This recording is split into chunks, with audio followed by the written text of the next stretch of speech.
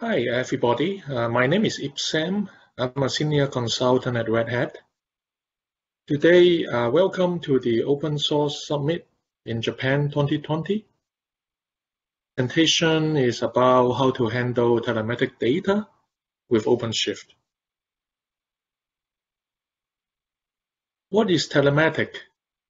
Telematic is a simple concept that combine telecommunication and data processing together.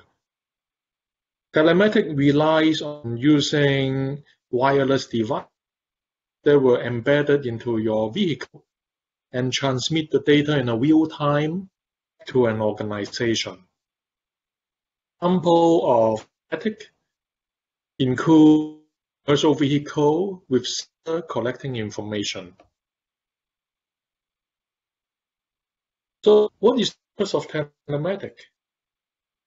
Well, we use telematic to increase the operational efficiency so that when, for example, when the truck is going to a different direction, different route, uh, we identify that and so that we could improve additional efficiency and identify the, op optimal path. We want to improve the customer service so for example, when the customer do not receive the deliverable on time, we want to tell the customer where exactly the truck is and when do they, do, do they expect to receive the deliverable. We want to protect the driver. For example, when there is an accident on the freeway, we want to alert the driver and try to avoid the accident by taking a different route or taking a different time shift. We also want to come with safety compliances. Uh, for example, when certain uh, direction and certain route is not is not compliance to specific deliver, deliverable uh, uh, objective, we would use that to do the safety measure. Telematic data includes the wireless communication, location, usually based on the GPS location data, and some in-vehicle electronics. It is also used to integrate to the cloud from the automobile. And it is also used for data analysis. For example, when um, we could use machine learning to do different type of predictability, to calculate the sales, event and plan ahead on you know how much data, how much truckload, how much uh, deliver, deliverable we need to deliver from destination one to destination two. An example of telematic data lifecycle, it contains the first step where the data is generated from the vehicle, from the telematic device the data will get transmitted to, to the cloud. The cloud will do the data collection and aggregation, meaning that it will convert the external data object into internal object, and you could aggregate the data together based on clustering, based on data similarity. And after that, the data will be analyzed and sometimes it could be used by um, machine learning, or it could be done by manual analysis to analyze the behavior of the data. And at the end, we would go into some sort of e evaluation. For example, the driver's performance, the truck's performance, are we delivering as an organization? And then you can see the cycle get repeated again and it will go back into our second iteration. Commercial telematic contains onboard tracking systems that send GPS location, wireless communication, truck data, and also it contains jurisdiction and tax management. The driver would have some interfaces. The interface could support the voice communication to talk to a dispatcher, and it also support the text message communication the onboard sensor is embedded into the truck, monitoring the truck load, the capacity, the temperature of the container and the tire, and the weight of the vehicle. All these different real-time information will send to the cloud. This is an example of a telematic uh, system in, integrated into a container truck. At the end of the truck, you see that there is a, a door sensor that will keep track of how many times the door of the container has been opened, how long it takes for the operator to load the, the, the goods from the truck and out of the truck. The door locks is also um, monitored so that we could track how many times the, the lock has been engaged. Is the lock secure? Is it protecting the item?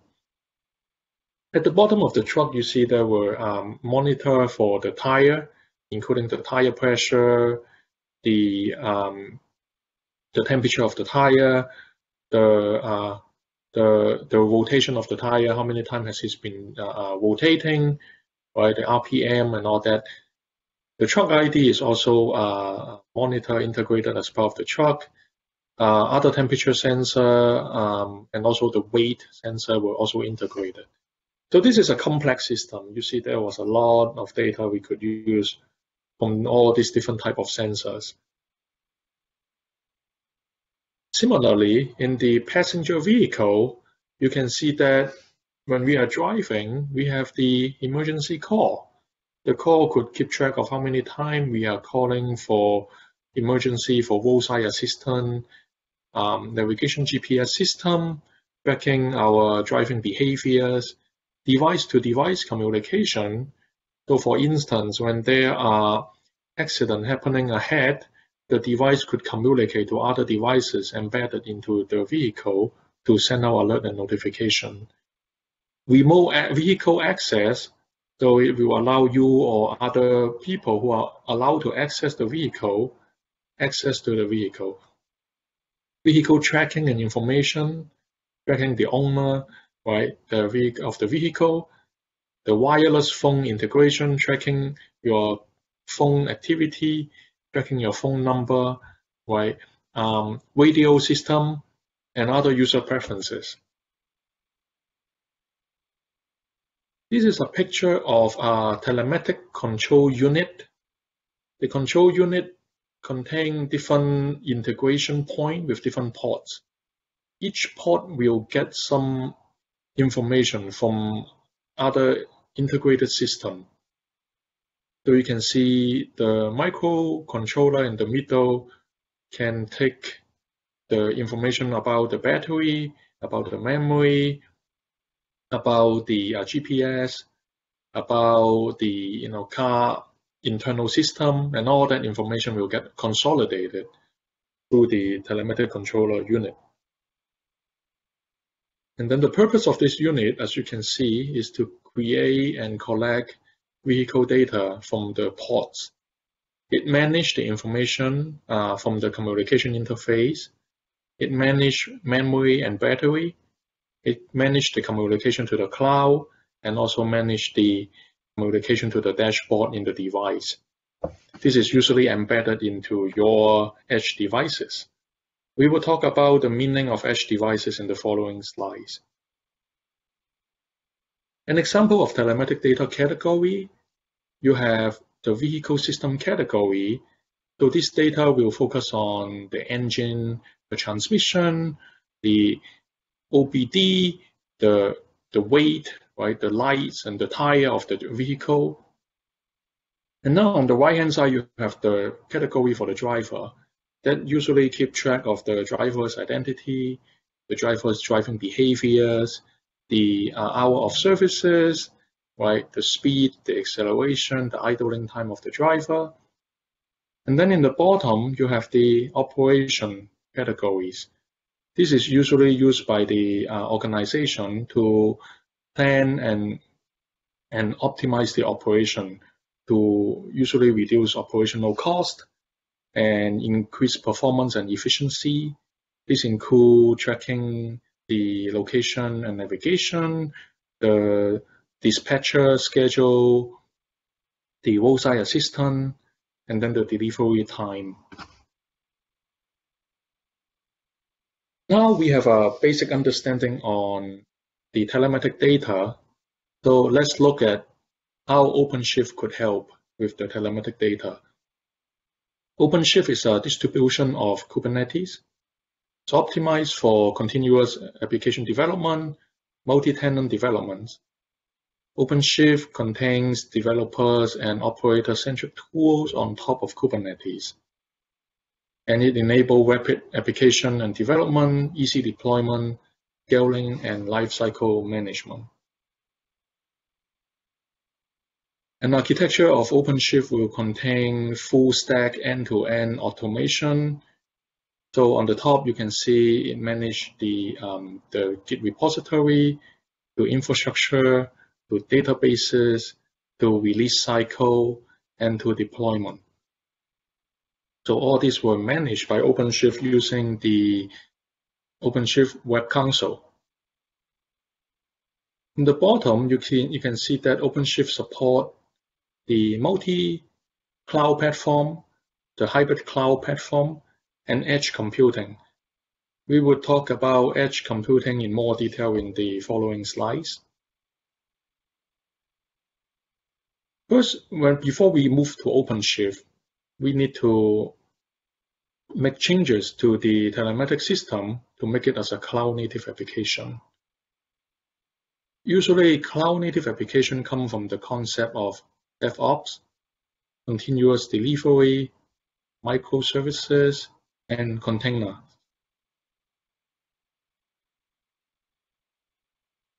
Regarding the OpenShift Cloud Native app, the benefit is that the app is scalable, is self-heal based on health check and monitoring, support DevOps approach, is continuous delivery, and it decompose microservices with API.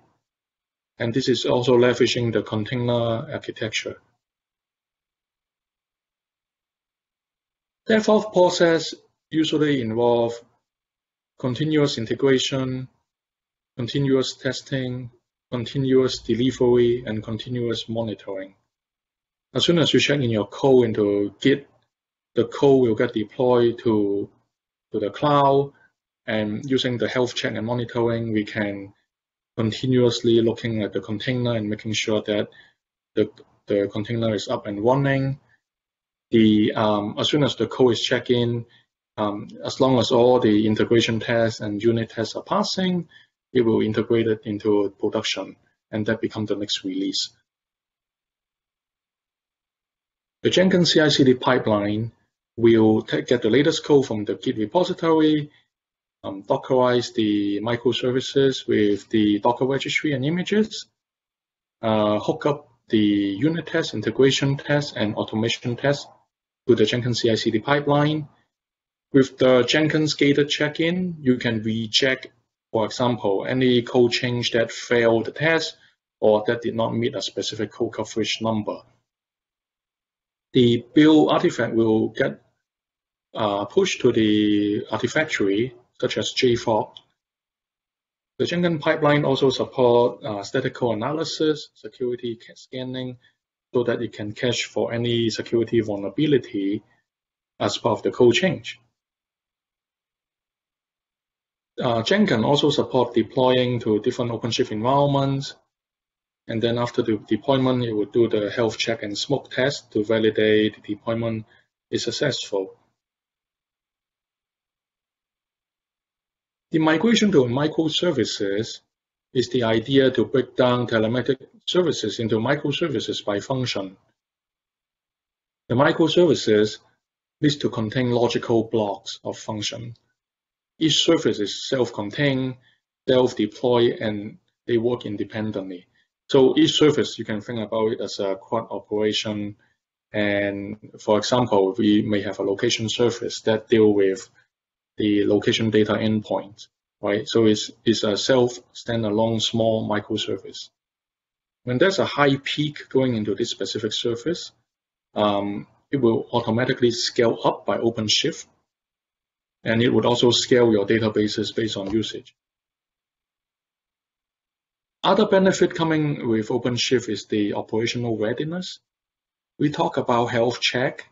Health check have the liveness probe and readiness probe health check.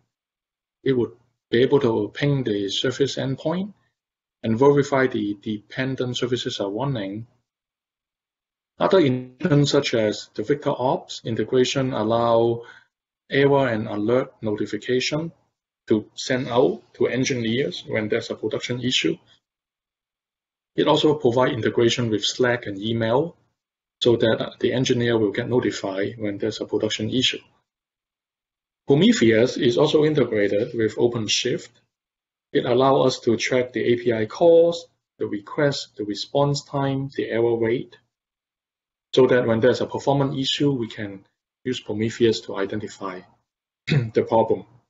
And for example, if a specific error message is happening too many times, Prometheus will be able to flag the alert and send out a notification. OpenShift also has Splunk integration. All the warning and error logs will get sent to Splunk so that you can query and look at, the, at this log in details. And Jaeger tracing, for example, is another integration with OpenShift. It allows us to group services together using a common request ID so that we can track the service orchestration, the service call workflow, and use that for debugging and troubleshooting.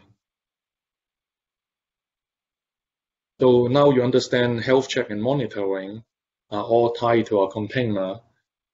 And we could also use metrics, logging, and tracing to get it from the container. So now let's introduce an idea called IFTA, IFTA. IFTA stands for International Fuel Tax Agreement. So each state has their own IFTA. And then basically the idea is that when you are driving your truck, going through different states, you need to pay tax, right? And then the tax is a lot of time based on the mileage or based on how much time uh, you have spent in each state.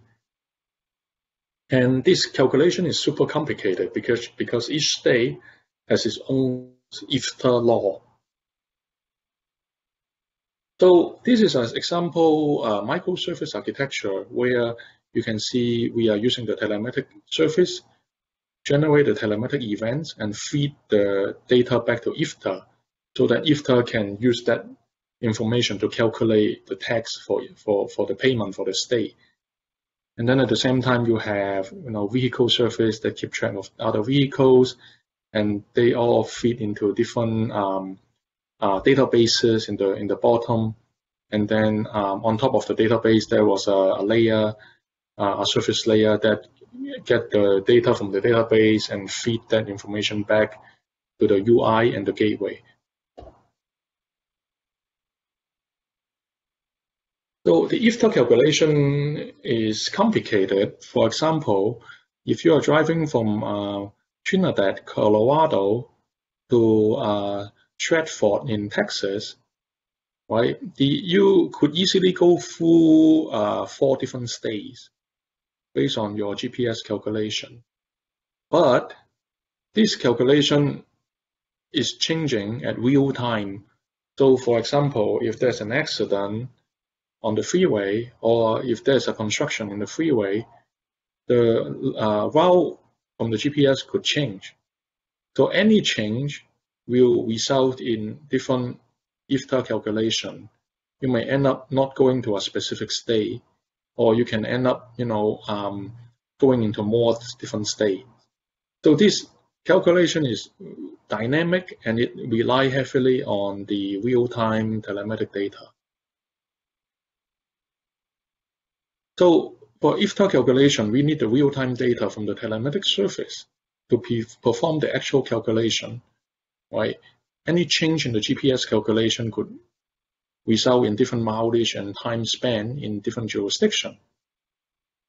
Um, a lot of time operation um, could be focused on how to uh, optimize the operational cost by going through the state with the lowest tax and lowest fuel tax.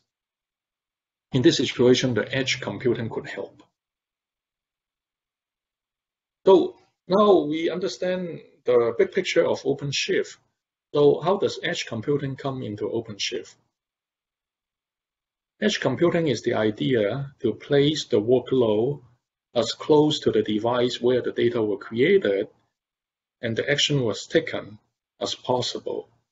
So the idea is if you put your calculation and computational power and resources closest to your device, you would get a much faster response from the calculation so that you can take action a, a little bit faster. The telematic data gathered from the device will, will be made available to the cloud. So how does that work? We leverage the 5G network to open up the compute, computing capacity into, into the devices. This is a picture of edge computing using 5G network. And the, in the bottom of the page, you see there are different edge devices that were embedded into the truck and different trucks were driving. As soon as there is a 5G network available, the data will get transmitted to the edge node. Edge node is a layer, is a sublayer on the cloud that specifically uh, configured to interface with the edge devices so that it would do do the uh, computation um, at the lowest level and as fast as possible, right? And then it, the edge node also integrate with the other the rest of the cloud system by submitting the data to the cloud. The cloud will do the data backup and do further data analysis and and generate the you know user dashboard and interfaces for the operator at the organization to look at the data. So this is a high level architecture, right? Sometimes you have more than one tiers of edge nodes, and we will talk about the benefit of doing that in the following slides. In the edge node, this is just a piece of IT equipment built for IT workload computation. It could be a four-blade server, right? Usually it means to be lightweight, right? You have a small server as with you know limited or, or some small computational power, and you want to do the calculation fast and lightweight. In terms of the edge devices, you would have a piece of IT equipment built for gathering different telematic data in your vehicle, including the sensors, the GPS navigation, the radio, camera, internal car system, and its CPU. So on average, we have about 20 to 30 different CPU in a car. So you see there was a lot, a lot of you know, computational resources we could take advantage from within the vehicle. And for the edge devices, the computational capacity has increased significantly in the last decade. Many of them were running in Linux. That means we can we could deploy containerized workload into the edge devices as long as the edge device support Linux. So now the next question would be how do we manage these different environments and ensure that the right workload will deploy to the edge devices and the edge node at specific time. The answer would be using OpenShift. OpenShift build the workloads as containers. Containers are deployed for scaling and availability. Uh, it in, enable the Kubernetes to run on the cloud and then we basically use the same concept to manage and deploy workloads into the edge devices. Some technical problem that we have seen, the number of edge devices are very high. It's estimated altogether 50 to 100 billions of edge devices in the fields. Right? These devices are coming into many different forms and configuration, Security is also uh, a concern because the edge devices are outside of the boundary of your data center. Therefore, the data associated with the edge devices need to be protected. And it is not possible to do any manual deployment or configuration. on the edge devices because there's just so many. So we need to, a way to distribute the workload to billions of edge devices in a massive scale. So how do we use edge deployment with OpenShift? OpenShift ensure the uniformity, consistency, security, and reliability across the edge node and edge devices. OpenShift define and provision standardization in edge node and edge devices. We could deploy the appropriate application resources based on their purpose. So for example, the GPS has a specific purpose of gathering and tracking the location. So we would only deploy workload that were related to locations to the GPU, to, to the GPS device. When we deploy new edge location, OpenShift would ensure that the new deployment are standardized, compliant, and secure, so that it would keep the cluster to, to, to be uniform across all business footprint. So uniformity is really the key, right? You want to make sure that the same containerized application could be deployed to all these different platforms using a containerized architecture. So earlier we had the diagram about the edge deployment. So, so there are actually more than two layers, right? Sometimes in this situation you have five or six different layers of edge tiers for deployments. So on the far left, you have the device layer, right? This is where you deploy the um, container application to devices. It used to, you know, thing about this device layer is really uh, limited computational power, you know, with sometimes you don't have any availability uh, HA set up, right? You have one instance that will deploy to this edge device. So on top of the edge device, you have the edge node layer where you could have some simple um, infrastructure configuration. You could set up uh, high availability, scalability, geo redundancy on that layer. At the provider layer, this is the layer where you would you would uh, communicate be, between the edge node edge device and your data center, right? It have different provider layer setup. For example, the provider layer for the far edge, um, the prov provider layer for access edge. So for example, you have different type, different tiers of the data. You want them to have different accessibility. So this would be the way, the, the, the, the level, the layer that you set up the access edge. And at the end, you have the provider aggregation edge, right? You aggregate these different, different data together into a, an aggregation layer so that you could do uh, uh, layer surface orchestration. And then in the core circle in the middle, you have the provider enterprise, the data center, right? Your data center could be a regional data center or could be on the cloud, right? So this layer is also deployed using OpenShift. So, uh, so taking looking at this picture, you can see that as we are moving from the edge cluster layer to the right to the device layer, this configuration would change significantly. At the edge layer, if it come with, if you deploy with OpenShift 4.5, it automatically go with three master node and three worker nodes. These are set up for high availability. And if one of the worker is down, you, the other worker will step up and continue to support the workload. As you move to the right, you see the remote worker node uh, will configure will be configured a little bit differently. You have one worker with three master. And then as you go further to the right, you have a single node single node, single edge node server is basically one worker and one master.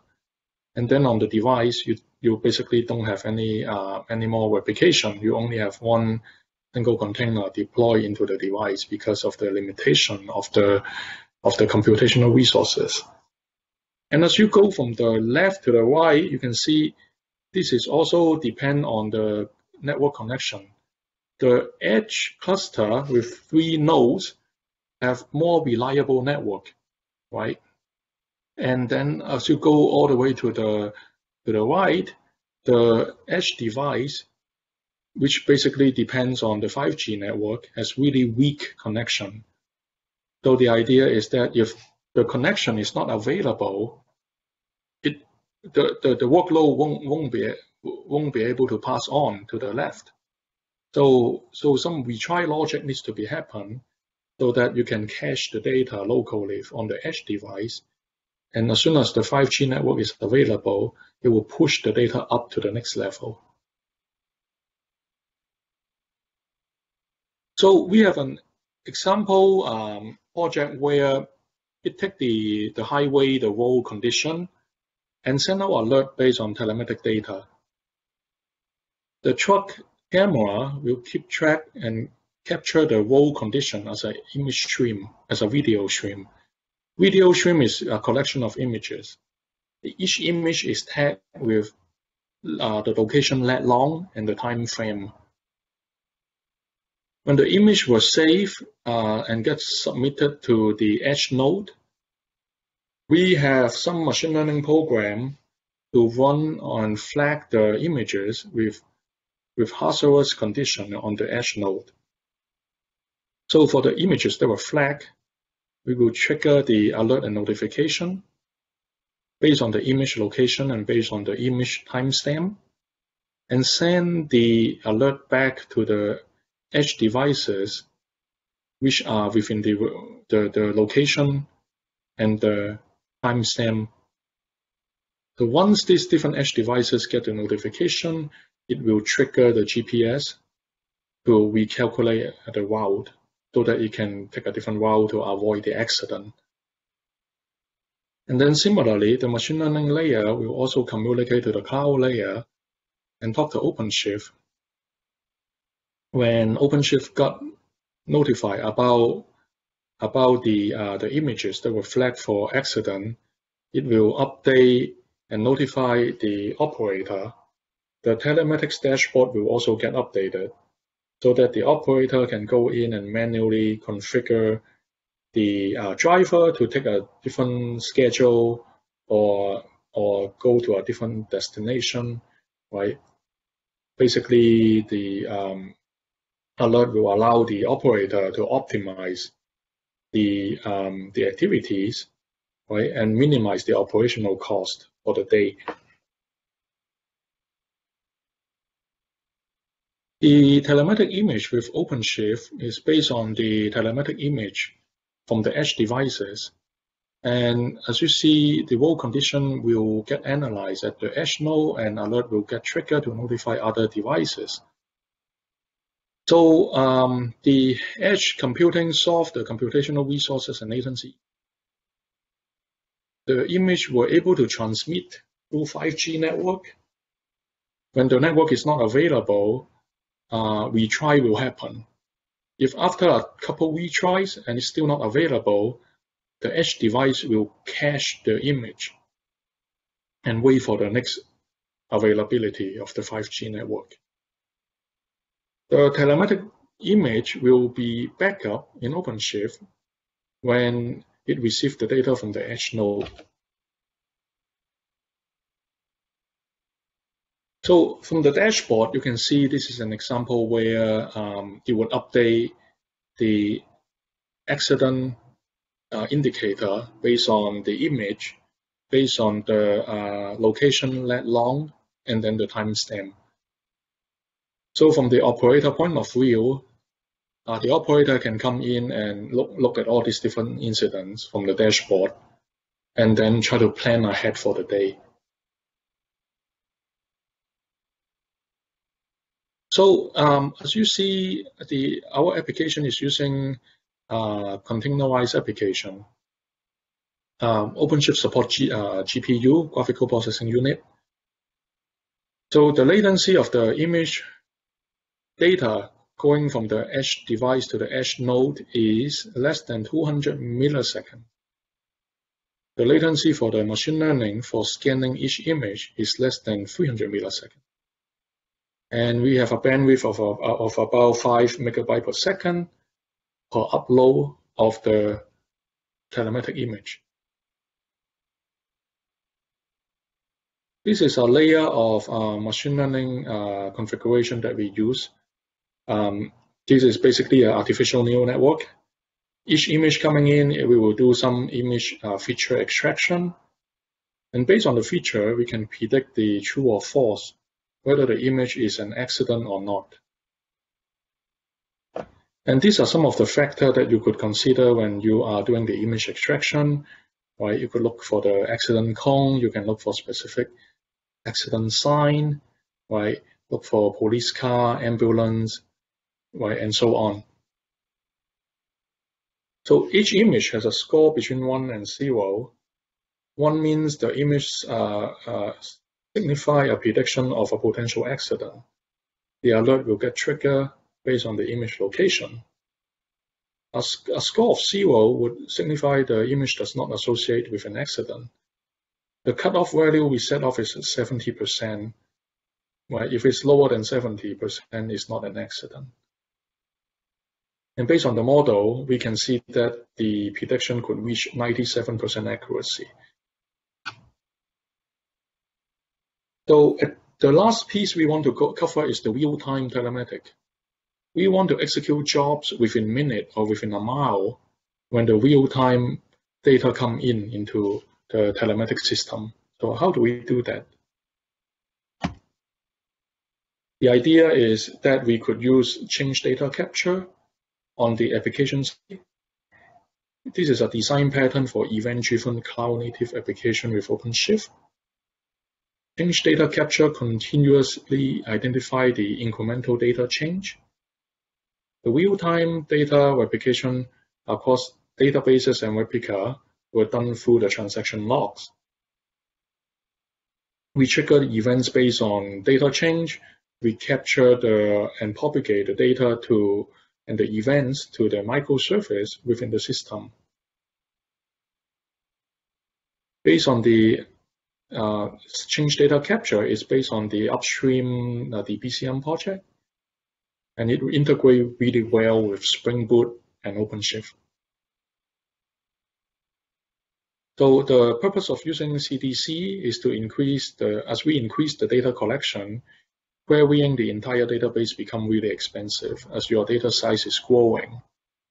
Um, and you know, backing up database and you know do a full scan on a database is also expensive. CDC would make the real-time data replication possible. The idea is that we have the telematic database on the left, you have different uh, query coming in to do the insert, update, and delete. And when this query finish, we have the transaction logs. These logs will be uh, standing waiting at the event bus. We push it to the CDC relay, which is a Debezium, and then uh, Debezium will notify the Elasticsearch engine on the right-hand side, which contain the telematic index. So once this data is updated, it will trigger the notification to, to the uh, dependent services, and it will update the telematic dashboard, the um, operator um, dashboard, right, and email notification and all that. So you can see um, this is a really effective um, architecture because now everything when that every time when there's a new change coming in and if the changes are insert, update, and delete, then we will do some action based on the text, based on the query type. To um, integrate the uh, Debezium into Spring Boot, all you need is to open the dependency uh, pom.yaml file and update the um, and add the Debezium uh, dependency the CDC listener is basically is a Java program that is set up to um, to uh, take the constructor to load the configuration and set a callback on the handle event method. The handle event method is then uh, get invoked when a transaction is performed. The embedded engine is a wrapper of the connector that the, manage the connector lifecycle. So this is an example of a CDC listener that will perform on the telematic connector and the telematic service, and it will notify the handle events when the transaction happen. So the start method is called when the Debezium engine is initialized and is started asynchronously using the executor. The end method will be called when the container is destroyed. This will stop the Debezium and merging the executor. Handle event will be called when the transaction is performed on the telematics table.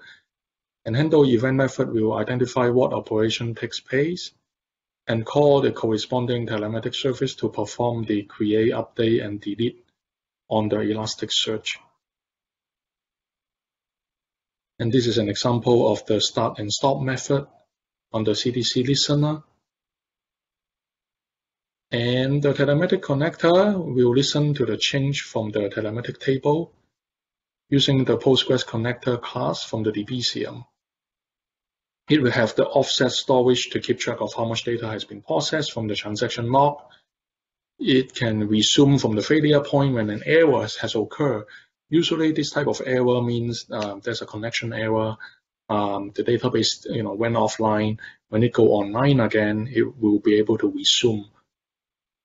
Um, the file offset backing store to is used to store the offset in the local file so that you can have a cache copy of that offset. The connector record the offset in the file for the new change, and then the Debezium engine flush the offset based on the flushing interval. And this is a Debezium connector configuration based on um, the name of the connector, the flush interval, database name, port number, username, and password. And the telematic service Maintain the read model method handle the update, insert, and delete on the telematic data. The telematic repository is an interface to perform the, perform the CRUD operation on the telematic database. Right, so this is a telematic service that, and as you see, you know, if the operation is delete, then you will call the telematic repository and delete the transaction, the telematic, based on the telematic ID. And if it's not delete, then you will save the telematic object. So at the end, today we have gone through a lot in this uh, presentation. You learn about OpenShift, you learn about edge computing, you learn about telematic data, you learn about CDC. And you can see that the telematic data integration with edge computing on CDC work really well with OpenShift and it enable uh, easy, highly distributed, event-driven, transactional log-driven, stateful micro, microservices development. Uh, the edge computing with 5G network offer fast and reliable solution. The event stream created on is based on the log change. The application could listen to the event and perform action based on data change. Right? That make it super useful. We need to deal with real-time data. It also performs consistent uh, data manipulation using edge computing. The data will be processed at the uh, edge layer before it will go to uh, the OpenShift layer. Um, you can see the distributed uh, connector cluster also provide high, high availability, scalability, and improve the performance of the overall system. With uh, edge computing and OpenShift and uh, CDC, the architecture is open source, is um, supported by the open source community, and we support any uh, programming languages and development framework. This is really useful. So for the next slide, um, thank you again for attending this conference. We enjoy talking with you. If you have any other further question, please reach out to Red Hat Consulting. Um, we would be more than happy to assist you in any uh, architecture related to OpenShift and edge computing. Thank you again. I hope you have a great day at the summit